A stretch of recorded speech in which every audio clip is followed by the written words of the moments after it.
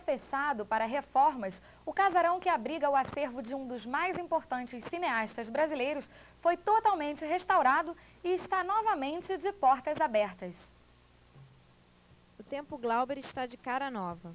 Após três meses de reforma, garantido pelo patrocínio de 150 mil reais de uma empresa de telefonia, o casarão de Botafogo reabre as portas.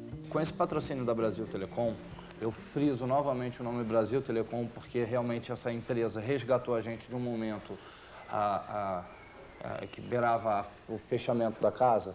É, ela proporcionou a reestruturação de alguns ambientes da casa. O dinheiro foi aplicado na expansão e criação de quatro novos espaços, entre eles a inclusão de cursos de teatro no departamento de produção e ensino. Eu vou contar com o apoio da minha prima, Ava Rocha, que é uma cineasta, que é uma produtora, que vem aqui colaborar com a casa. Ela vem voluntariamente prestar o serviço de, de organização do departamento de cursos.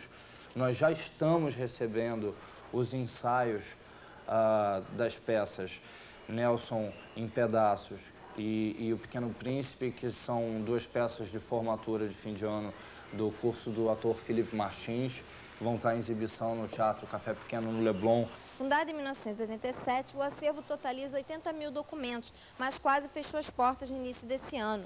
O espaço vem estimulando também estudos sobre a obra de Glauber Rocha e Cinema Novo, além de investir em novos talentos. Um desses novos profissionais é Simone Soares, que conta com o auxílio do Tempo Glauber para a realização de um curta de ficção científica.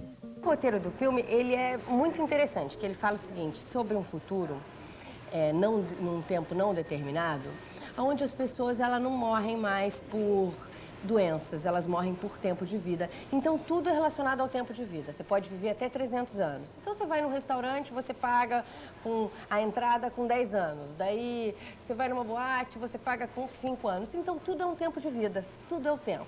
Dona Lúcia Rocha, mãe de Glauber Rocha, além de administrar o casarão, também vem ajudando na divulgação do documentário Labirinto do Brasil, do diretor Silvio Tender, sobre o cineasta baiano. Eu, o filme é um, tem entrevistas assim maravilhosas, não é um filme mentiroso, é um filme verdadeiro. Um velório. E eu estou satisfeita, agora mesmo acabei de receber um telefonema dele, dizendo se eu queria ir com ele amanhã para ver o filme que está passando em Vitória. Vale a pena conferir. Estas foram as notícias desta edição.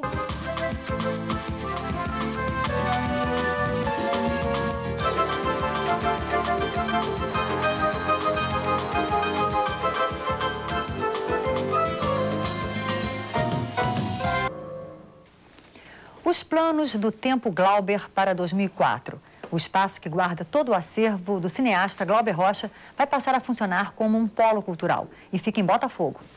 Esta câmera de 16 milímetros foi comprada por Glauber Rocha em 1956. Ele tinha apenas 17 anos. A mãe do cineasta conta que Glauber passou no vestibular e ganhou o dinheiro para comprar um carro.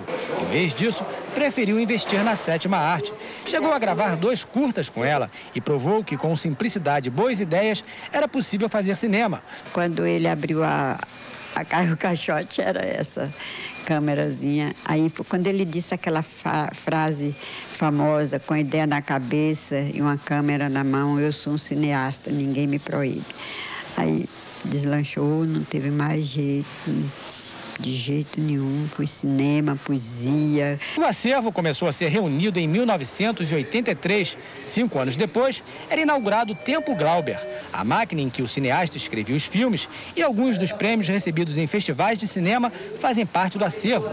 Nesta sala, uma homenagem aos três filmes prediletos de Glauber, entre os 16 longas que rodou durante a carreira: Deus e o Diabo na Terra do Sol, Terra em Transe e Idade da Terra formam o que ele denominava Trilogia da Terra.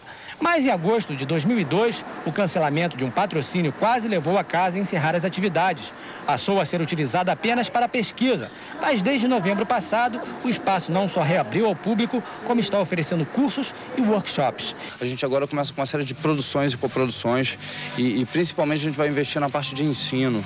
Então, na verdade, na verdade a gente quer é, preservar a memória do Glauber, é, preservando a cultura, fazendo com que nós estimulemos novas gerações a participar dos meios culturais, cinema, teatro, televisão, e a gente vai utilizar para isso os cursos que vão ser dados na casa.